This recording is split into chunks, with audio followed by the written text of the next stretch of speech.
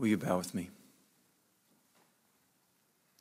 Heavenly Father and Lord, we approach your throne of grace this morning in our sinful and broken state, acknowledging our dependence upon that broken body and the spilt blood of your Son.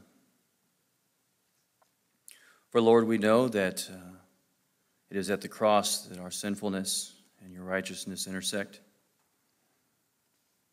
And it's through the spilt blood of your Son that our sins are atoned.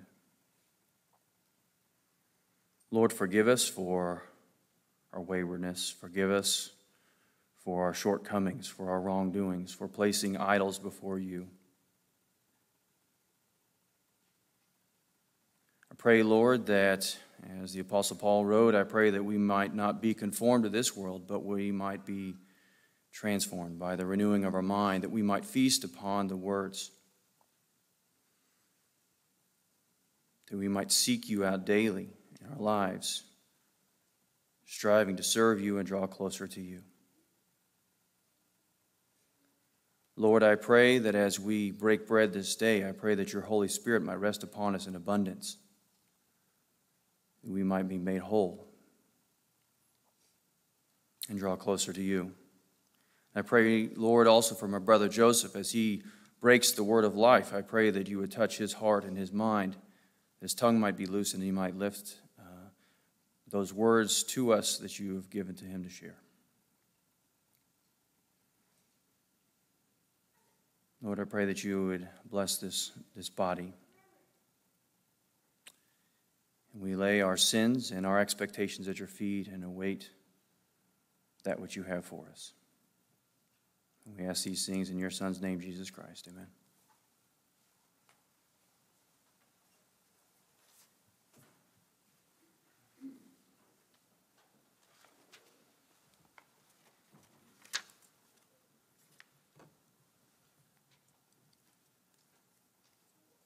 Would welcome all of you to the house of the Lord this day.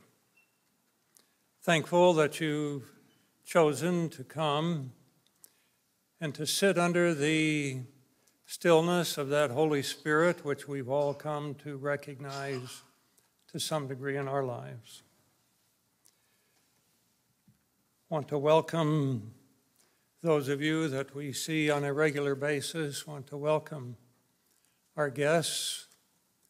We have two from Mexico, two from Alabama, four from Indiana, unless there's more sitting there. And the rest of us are from regions round about the church. So thank you for coming.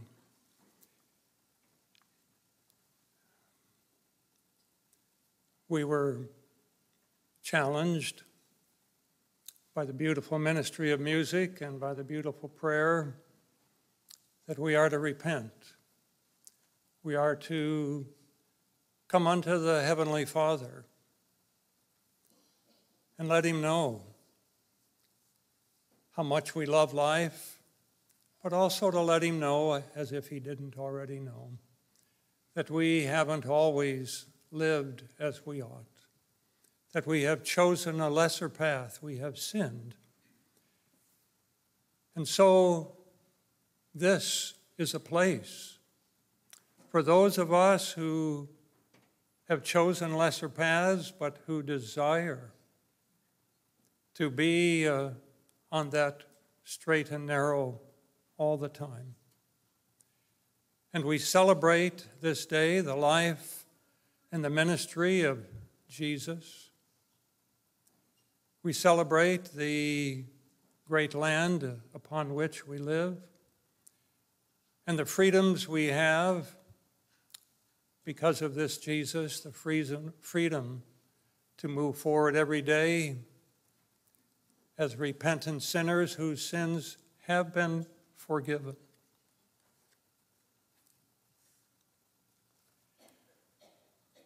And so we are here today to celebrate and remember that sacrifice of Jesus that sacrifice he made for each one of us. And we're to remember that we are to keep all the commandments and we are to remember the covenant we made in the waters of baptism, a covenant to follow Him as best we can all the days of our lives. And so we invite all in this room and all of you who are watching from home, and we welcome you. We invite all to come unto Christ and to make, if you haven't, a covenant with Him. For our sacrament service, we ask that only baptized members who have made this covenant partake of the sacrament. We welcome all to join with us in the spirit of worship. And as we worship today, the second hymn, there will be an Amen with that. The first and the last hymn, we will stand. For those of you that um, don't know Sister Resh, her son has been on his best behavior up here in front of us. Jeff Anger. So there's a connection there if you weren't aware. And so I also want to point out that we had uh, in this very room at least 10 minutes of silence. And whenever we have that opportunity to sit under that influence quietly, hopefully you use that time to talk to your God, to let Him know how much you appreciate life, how much you appreciate Him and His Son, and how much you desire to walk the way He intends us to walk. And if you've chosen a lesser path, welcome to the crowd. We are here today to bow down before Him and to seek His forgiveness and to let Him know how much we love Him.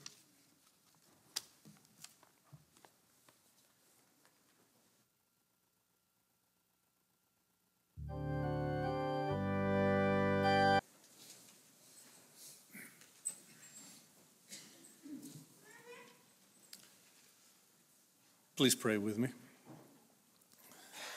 Loving Heavenly Father, we come before you at uh, this portion of our service to make an oblation offering back to you. And Father, we realize that whatever we're able to offer is merely returning that which is yours, and that it pales in comparison to the sacrifice and offering that you've made for us.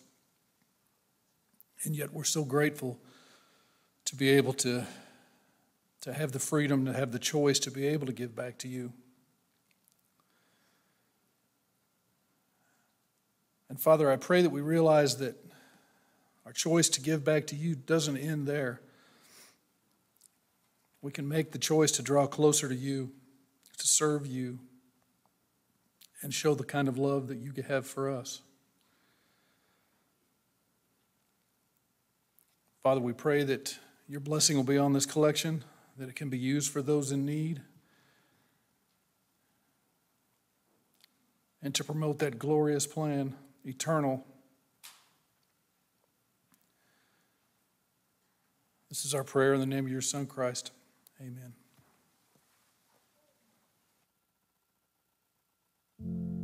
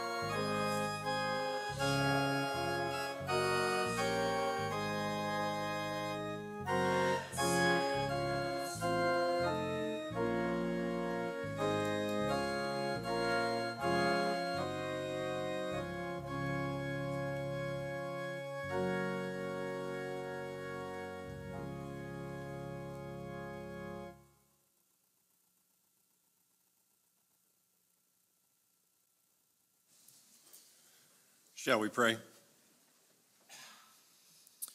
Our Father who art in heaven, hallowed indeed, indeed be thy name.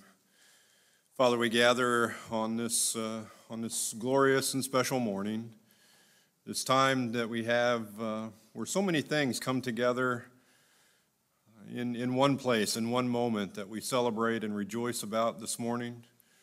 We gather, Father, on the, on the anniversary, the celebration of the birth of a nation a nation that you've brought forth on, uh, on this land, Joseph's land, a land of promise.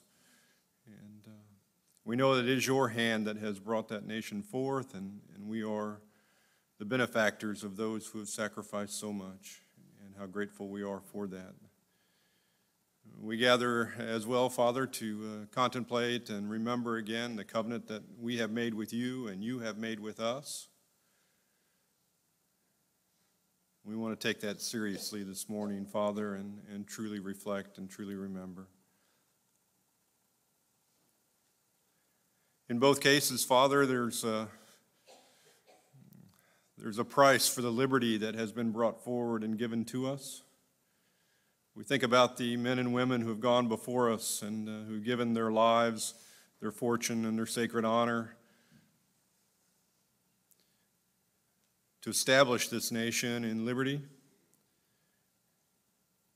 and to hand it down through the generations to us. We understand, Father, somewhat of the names and the, and the people who have, uh, who have borne that liberty out of their sacrifice. And we're grateful and we celebrate their lives today in the memory of what they have done. Remember as well, Father, this morning, the, the liberty that you have brought to us through the sacrifice of your Son. That it's only through his death and, and resurrection that the covenant that we celebrate this morning is made possible.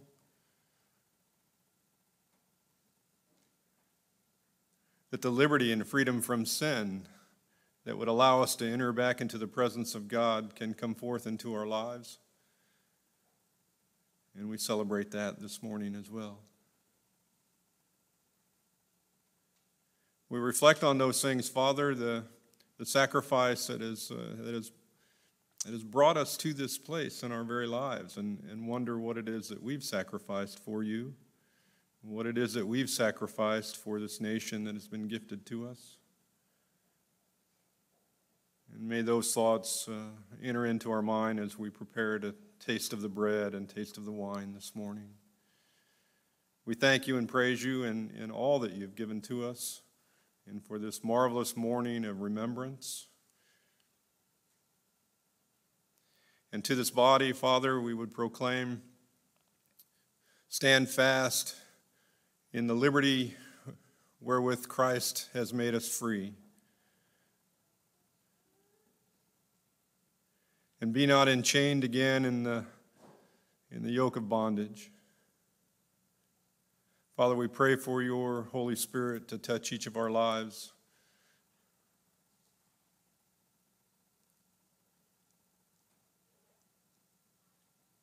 Would you make us more than what we've been before? Would you make us willing to be your people and to represent you in this world that so needs the light of Christ? Would you send your blessings upon us as we remember the covenant and desire to draw near you and take upon us again, afresh and anew, the name of Christ? And we pray these things, Father, humbly in the name of our Savior Jesus. Amen.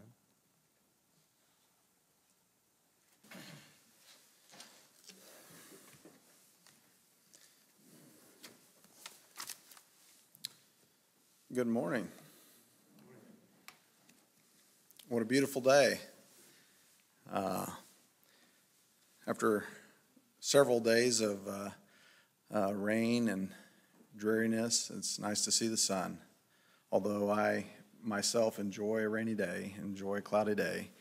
And it was kind of funny. Um, I think it was Tuesday or Wednesday when it wasn't exactly raining, but it was still overcast, dreary day.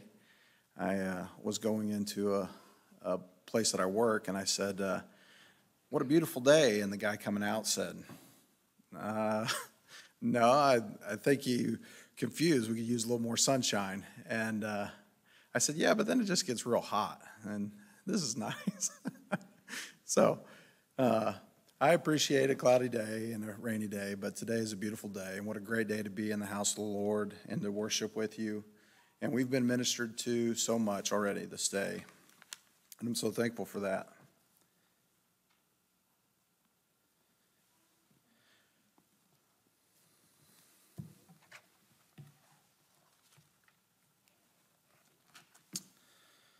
It's funny, some of the thoughts that are on my heart and uh, mine for today have been touched on by many of my brothers, uh, even this morning in our uh, priesthood service, uh, which is not shocking in any, any way, but it uh, just shows the way that the Lord impresses things on the hearts of his servants. And today I'd like to speak to us about freedom.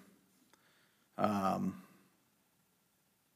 you know, when we look back at the anniversary of this day, almost 250 years ago, 245, um, it wasn't the celebration of a victory, but we're celebrating the choice the choice of freedom. And we can see God's hand written all over the formation of this country. And in a lot of ways, it's pretty obvious, even in the documents, they write God's name. And we know that He uh, used this country to bring about His restored gospel, to bring about the translation of the Book of Mormon, to restore His church.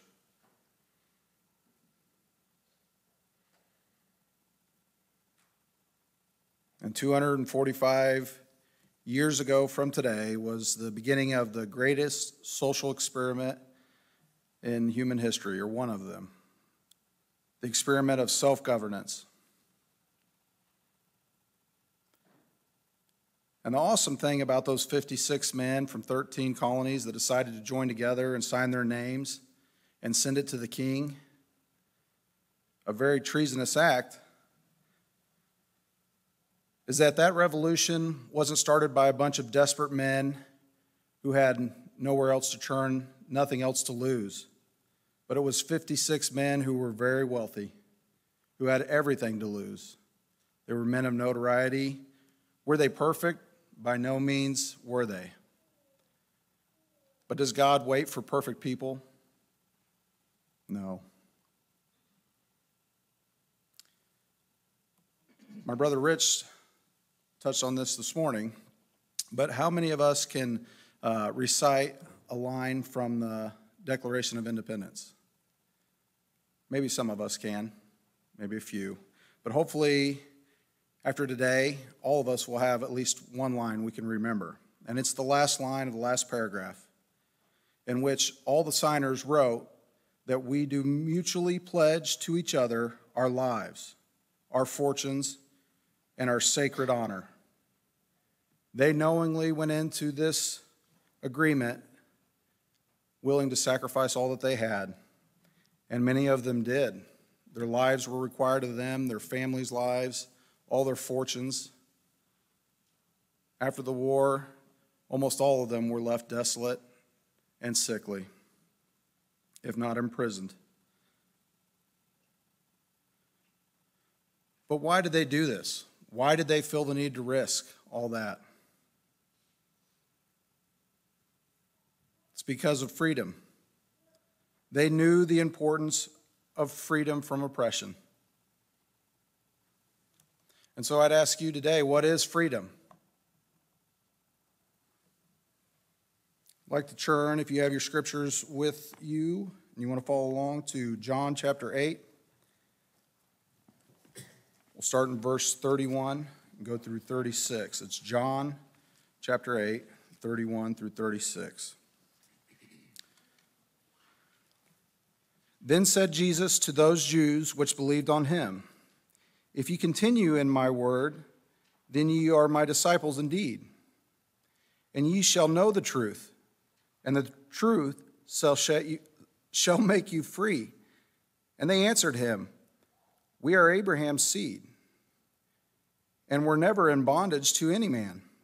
How sayest thou, Ye shall be made free? And Jesus answered them, Verily, verily, I say unto you, Whosoever committeth sin is the servant of sin.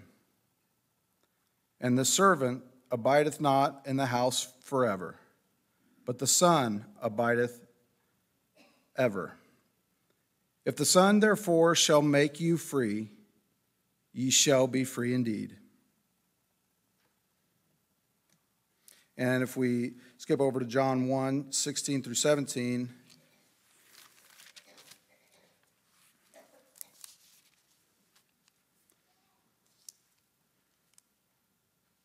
For in the beginning was the Word, even the Son, who was made flesh, and sent unto us by the will of the Father. And as many as believe on his name shall receive of his fullness, and of his fullness have we all received, even immortality and eternal life through his grace. For the law was given through Moses, but life and truth came through Jesus Christ. And so we know that freedom is truth, and truth is Jesus himself and his word. We can't experience freedom outside of Jesus.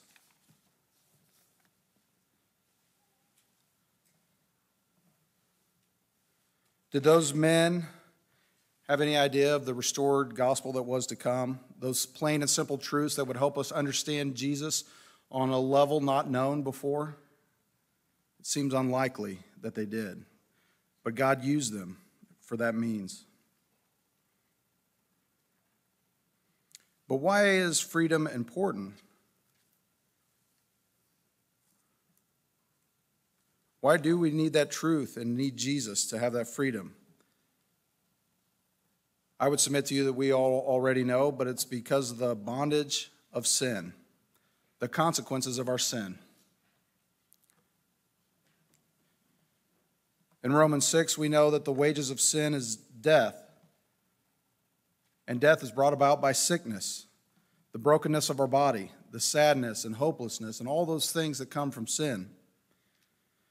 And in John 3:36, we read that the wrath of God is upon us who have sinned. Is there any greater consequence than the wrath of God? That's a heavy weight. It's a heavy consequence. Many years ago, when I first, well, many to me, maybe not many to some of you, when I first was uh, ordained in the priesthood and gave one of my first sermons, I read a um, biography or a story that a lady wrote about her first experience running a marathon. Uh, it was pretty insightful to me, being as how I've never ran a marathon. I've ran a couple 5Ks and they felt like marathons.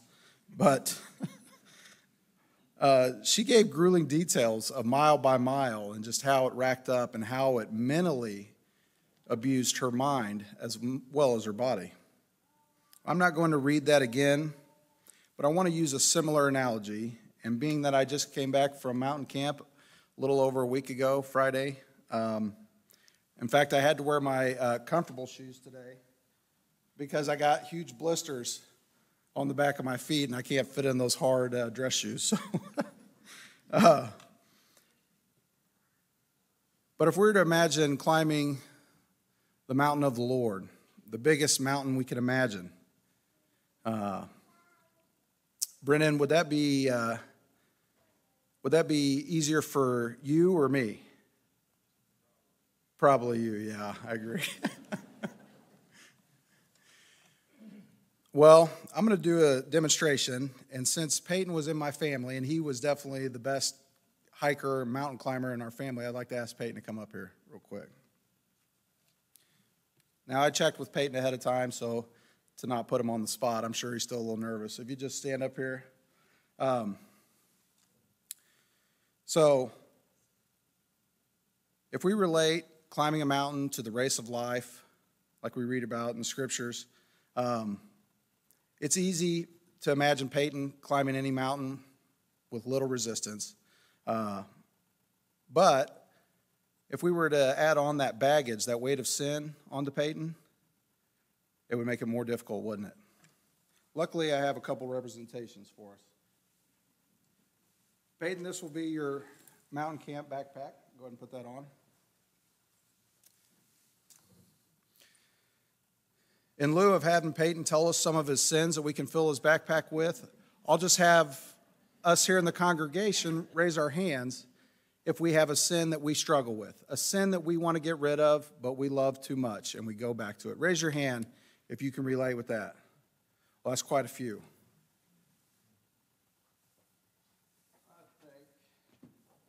I think this is probably an accurate representation. Go ahead and turn sideways, baby. There you go.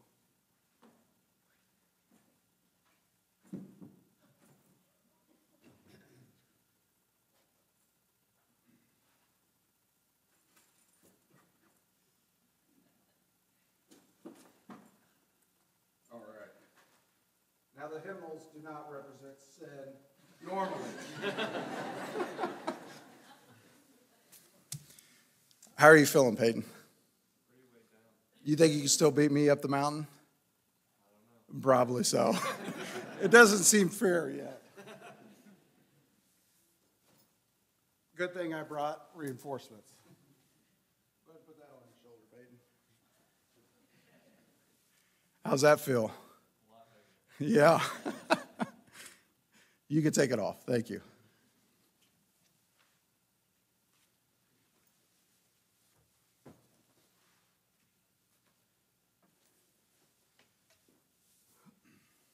You can have a seat. Thank you, Peyton.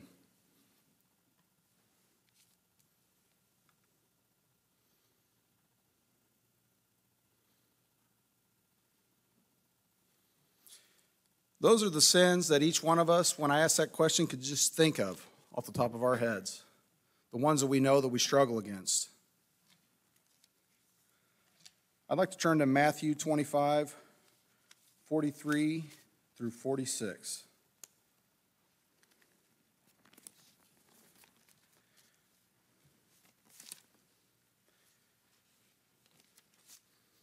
That's Matthew 25, 43, and we'll go down through 46. For I was hungered, and ye gave me no meat. I was thirsty, and ye gave me no drink. I was a stranger, and ye took me not in, naked, and ye clothed me not, sick and in prison, and ye visited me not. Then shall they also answer him, saying, Lord, when saw we thee an hungered, or thirst, or a stranger, or naked, or sick, or in prison, and did not minister unto thee? Then shall he answer them, saying, Verily I say unto you, inasmuch as ye did it not to the one of the least of these, my brethren, you did it not unto me.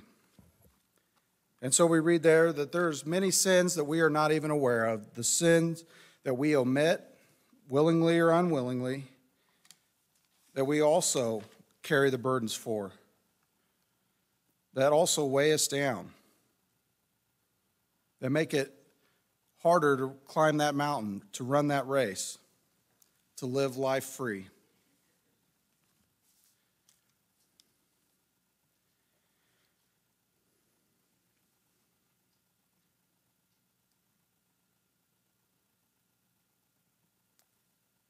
Brothers and sisters, the Lord sees our sins. He tells us in 1 Samuel 2 3 that He's going to weigh our sins, that we are to not talk prideful and arrogant, but the Lord will weigh our actions. And in Proverbs 16, He says that all men's ways are clean in their own eyes, but the Lord weigheth His spirit. And in Daniel 5 27, he says, Thou art weighed in the balances and yet found wanting.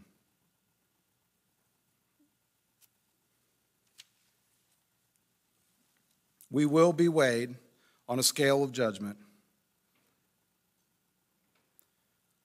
What will we be weighed against? Maybe the Ten Commandments? Maybe the law of love, the higher love in Matthew 22, 34 through 39.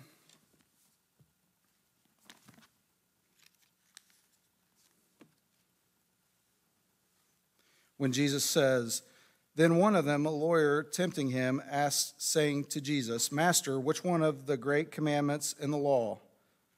Which one is the greatest commandment in the law? And Jesus said unto him, Thou shalt love the Lord thy God with all thy heart, and with all thy soul, and with all thy mind. This is the first and great commandment. And the second is like unto it Thou shalt love thy neighbor as thyself. One of these two commandments hang on these two commandments hang all the law and the prophets. If we were weighed against that, how would any of us fare? Maybe we, uh, we should think of our life being weighed against the life of Jesus. And when we think of it in that terms, the guilt sets in. None of us would balance out, would weigh the, the right amount compared to the life of Jesus. And so, knowing that, feeling that guilt, we automatically, at a young age, try to hide our sins. You don't have to teach a toddler how to hide a mess when they know they're not supposed to make a mess. It's that human nature, that guilt. I'd like for us to go to uh, Mormon chapter 4, verse 59.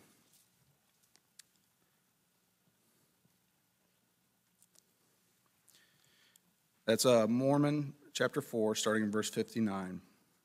Yea, in that great day, when ye shall be brought to stand before the Lamb of God, then will ye say that there is no God. Then will ye longer deny Christ? Or can ye behold the Lamb of God? Do ye suppose that ye shall dwell with him under a consciousness of your guilt?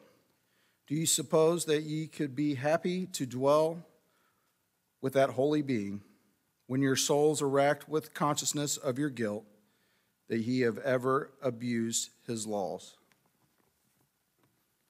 Even in that day of judgment, when we're weighed on that scale, before anyone accuses us of anything, we will know that guilt will weigh heavy on our hearts and our minds.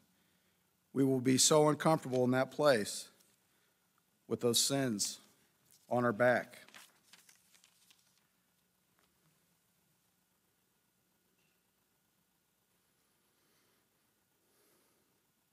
And so we must evaluate what is the purpose of our life.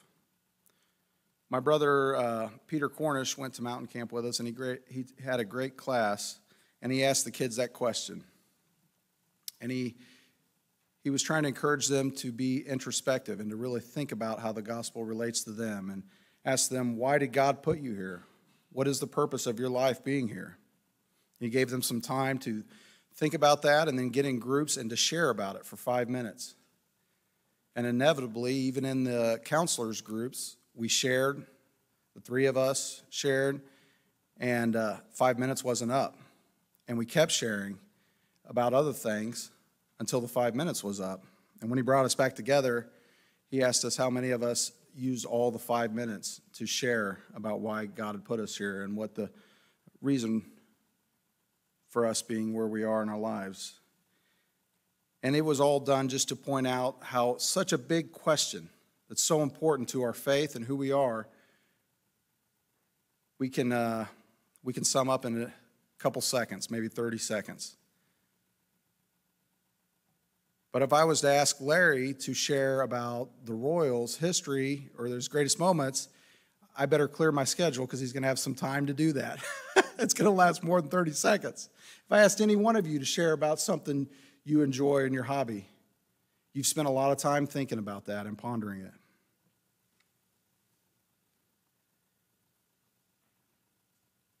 So, brothers and sisters, we need to spend time pondering and reasoning our reason for our the reason why God put us here and our reason to be in this work.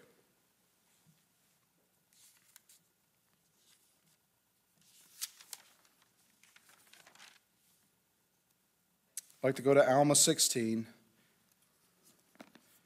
This is a great scripture that Peter shared when, uh, when he challenged the kids on this to get them thinking about the reason why we're here. Alma 16, uh, verse 227 down to 230. Yea, I would that ye would come forth and harden not your hearts any longer. For behold, now is the time and the day of your salvation. And therefore, if you will repent and harden not your hearts, immediately shall the great plan of redemption be brought about unto you. For behold, this life is the time for men to prepare to meet God. I'll read that again. For behold, this life is the time for men to prepare to meet God. Yea, behold, the day of this life is the day for men to perform their labors. And now, as I said unto you before, as ye have had so many witnesses, therefore I beseech of you that you do not procrastinate the day of your repentance until the end. For after this day of life, which is given unto us to prepare for eternity, behold, if we do not improve our time while in this life, then cometh the night of darkness, wherein there can be no labor performed.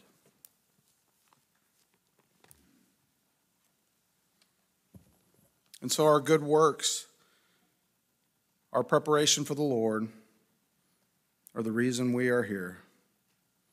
And I would challenge you to find out for yourself why God put you where you are, to seek Him and what work He has for you.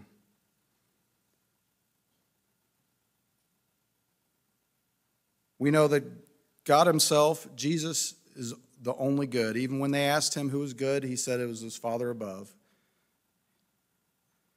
And so, what good work can we perform on our own?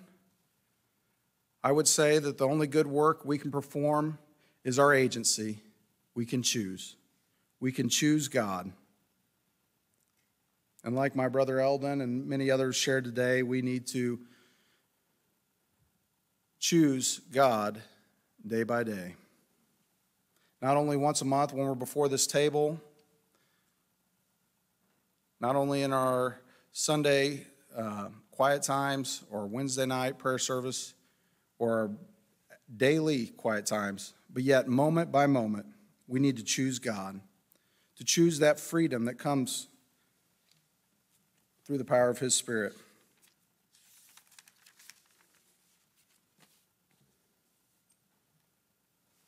You know, my brother John Owings in small group this past uh, uh, Wednesday night, he answered a question that was given to us about if you could give anybody a gift, anyone, any gift, what would you give them? And a lot of us shared about uh, the gift of the love of Jesus and how that transforms our lives. And John mentioned how, for those that haven't experienced that, and I'm sure John can relate, and I know that I can, it seems like too much to give up. It's too much to sacrifice. Those sins are comfortable.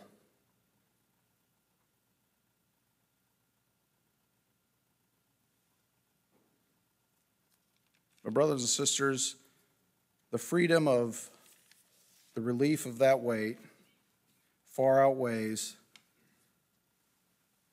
the uncomfortableness of leaving those sins behind. For every choice in life has sacrifices and difficulty.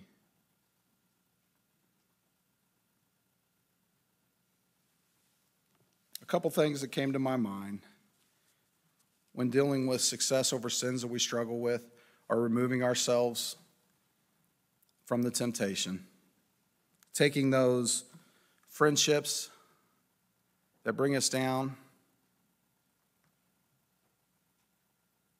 and removing ourselves from those situations, distancing ourselves. We don't have to cut off those friendships, but don't place ourselves in situations that we know are going to harm our decision making. Maybe remove those apps off your phone that keep tempting you. Maybe get rid of that streaming service, that show that you watch that's not edifying. or a podcast that you listen to, or anything that we do that's comfortable, that feels good. It's our guilty pleasure, but draws us away. Another great thing that was brought up at Mountain Camp, a class that was taught that I really loved, was creating new friendships or maybe growing ones that you already have into a, a friendship of accountability. Maybe you can do this with a, a wife or a husband. Maybe you could even do this with a father or a mother, a brother or sister. But I don't think there's enough importance placed on the gift of accountability and what that can do to our lives. But first, it takes vulnerability and a desire to be free. And so, my prayer and my desire this day is that we will each choose freedom. Not the blow up a bunch of mortars type of freedom, although that's going to be fun later for those of us that enjoy doing that. But the type of freedom from the type of oppression that can follow us through any border, any country, anywhere in the world. The oppression that you can never escape from. The oppression of sin as it weighs you down and makes you feel stuck in a rut, a rut of unhappiness. For we know that this table and this act that we did today is a physical representation of that freedom. When we were eating that bread and drinking that wine, it's an expression of the greatest freedom and the greatest sacrifice that could ever be given. And that was when Jesus, much like those 56 men, sacrificed all that he had. He sacrificed much, much more to come down and take on flesh, to take on sin that he didn't deserve, and to willingly uh, give it to you and me who continue to fill our backpacks with sin. I thank you for your time this day and your attention. And I pray that we would leave here a changed people and that we would desire to lay those sins down and to instead choose freedom. Thank you.